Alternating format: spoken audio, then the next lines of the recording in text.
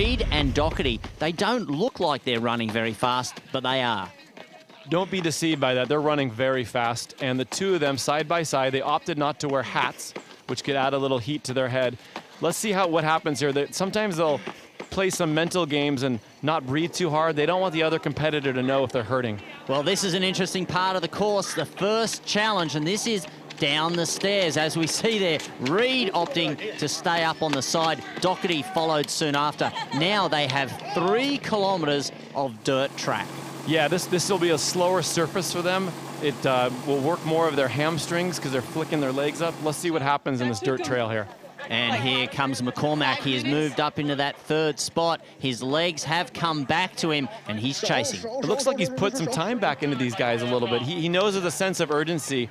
He needs to close the gap as quickly as possible. Well, McCormack, uh, in his early stages, was one of the best runners in the sport of triathlon. The pace is increasing.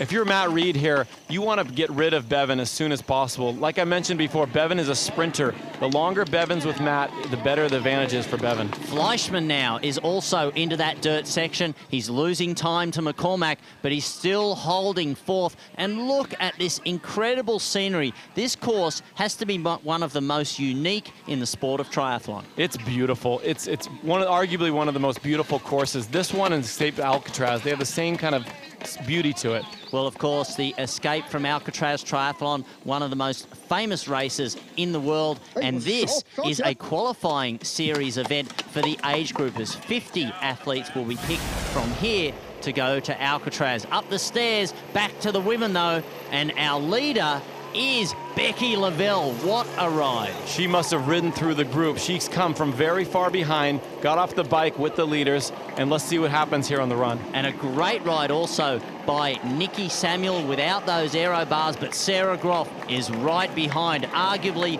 the best runner and in great training given that she's just come off the Olympic Games. And if you're Becky and Nikki, you did not want this. This is the worst case scenario. Sarah Groff coming off with you guys for the run here. Look at this neck and neck.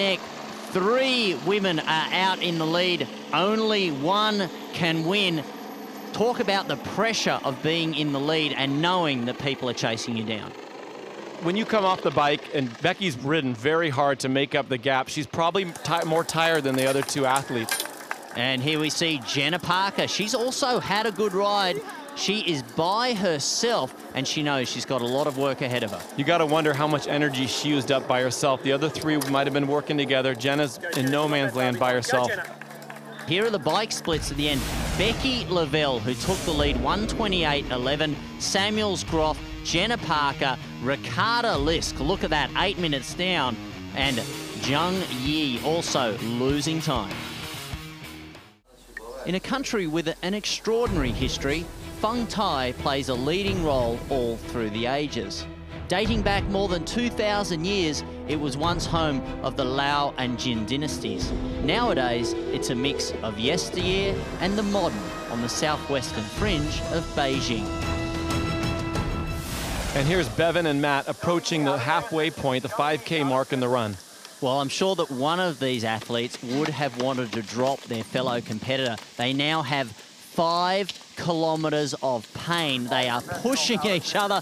Look at that. Matt Reed, oh, you can see the pain on his face. Doherty is trying to break him. Doherty's trying to break him. And here comes Macca. Macca's probably going to get some time splits and that'll tell him where he needs to be, what kind of effort he needs to push the last 5K of the race. Well, he is making up time. He's less than two minutes down now. Sarah Groff has taken over the lead and looks really comfortable. Sarah's in cruise control. She's got to be feeling pretty good about this. Again, this is her best leg. If there's no one in front of her, she's got to be feeling good about the win coming up here. And what beautiful grounds here in Qinglong Lake Park into the dirt for Sarah Groff. You can hear her calling out for water. Hydration, very important. Very key at this race. Coming off a hard bike, your muscles are fatigued. Sometimes you forget to drink. Nikki Samuels of New Zealand is chasing hard. and in third spot, let's see, Lavelle is slipping back. Interesting technique on how they come down the stairs. Looks like some athletes came down the side while others took the stairs. Back to the lead. Groff is charging, really comfortable. The woman from Hanover, 30 years of age, and she is coming to the age where many triathletes peak.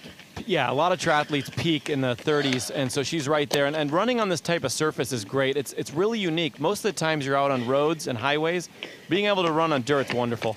Well, the Escape to Alcatraz Triathlon Series is all about unique courses. Now we are starting to see uh, a number of athletes get mixed in. They were some of our age group competitors right there in front. They, of course, are in lap one. But look at this, Doherty pushing on the uphills and Reed catching up on the downs. That's tough for Matt. He's got more weight, taller athlete. Bevan knows this, and Bevan's going to take advantage on the uphills here.